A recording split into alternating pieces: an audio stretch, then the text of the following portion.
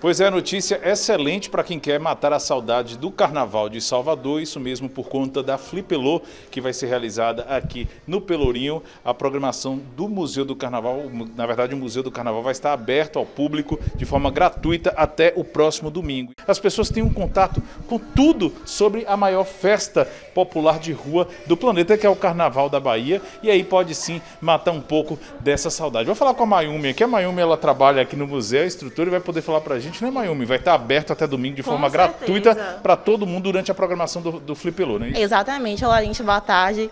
Para vocês, até quem é de Salvador, quem não é também, venham para cá conhecer a Casa do Carnaval da Bahia, onde aqui é carnaval o ano todo, vocês dançam, vocês conhecem a história, vocês brincam, todo mundo aqui é folião.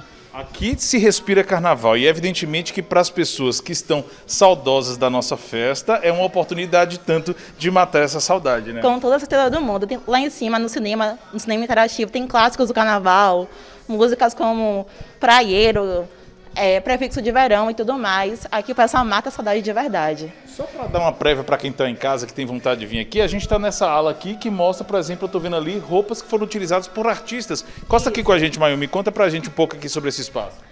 Essa parte aqui é a parte onde tem os figurinos oficiais. Desse lado aqui nós temos Saulo, Carla Pérez, Luiz Caldas. Foram usados pelos próprios Sim, artistas. sim, tudo aqui é, são peças originais, eles doaram pra gente. Aham. Além disso aqui, o que, que as pessoas podem aproveitar mais aqui no Museu do Carnaval?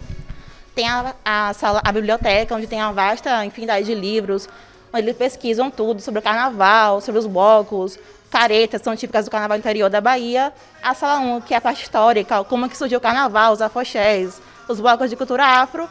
E essa sala aqui, que é a parte mais contemporânea.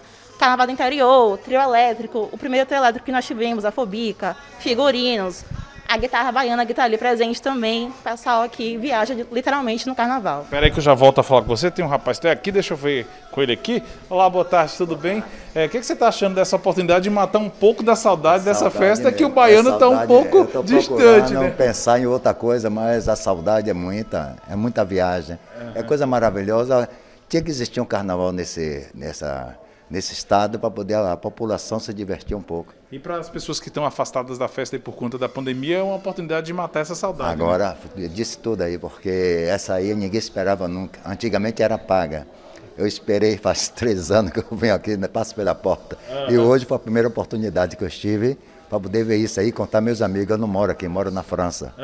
Estou com 40 e poucos anos de Então França. sua saudade ainda maior, Maior, atravessa toda o aqui- oceano. Toda arrepiada. Aqui você faz a entrevista comigo, toda arrepiada. Então, quer dizer, tudo que eu estou vendo aqui, eu tenho que transmitir para meus amigos que moram na França, em Paris. De forma gratuita é melhor ainda. né? É, isso aí é maravilhoso. O, o visual é outro, é emoção. É isso que você está falando, é emoção, é outra coisa.